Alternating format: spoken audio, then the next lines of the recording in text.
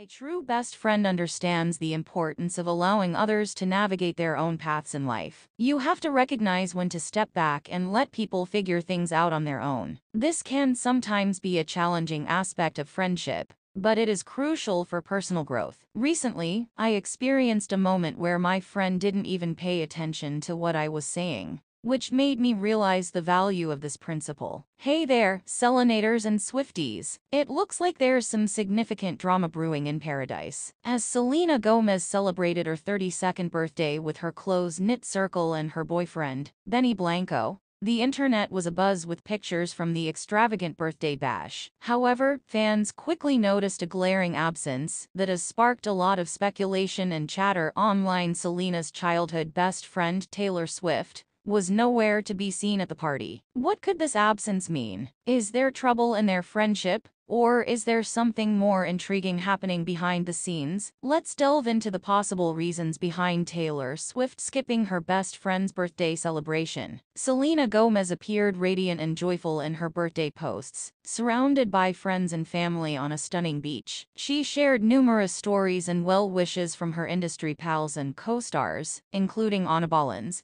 Zoe Saldana, Benny Blanco, and many others. However, Taylor Swift's birthday wish was conspicuously missing, given that Taylor is currently on a break from her Eras tour and not engaged in any major music activities. Fans had anticipated her presence at Selena's grand celebration. The absence of Taylor's wish has left many fans disappointed and curious. The internet has been rife with reactions from fans. One fan commented, I think people just notice they didn't hang out when they had a chance to, and are extrapolating. Anyway, if it's true, I'd imagine it is more of a temporary cooling in the friendship than something dramatic. Another fan expressed, but as a 34-year-old female, she should not entirely ditch Selena. Obviously, Taylor is looking for the best in her friend, but ditching is not the way to do it. She doesn't need to support this in any way, shape, or form. A third person weighed in with 100% none of my business, but I do think a true friend should love you no matter what. The burning question remains, why did Taylor decide to snub Selena's birthday bash? There must be a reason behind this noticeable absence. Some speculate that Taylor might be upset because Selena didn't attend her 34th birthday party, choosing instead to leave a small tribute. Although Taylor wasn't photographed with the group of celebrities at her own birthday celebration in New York City,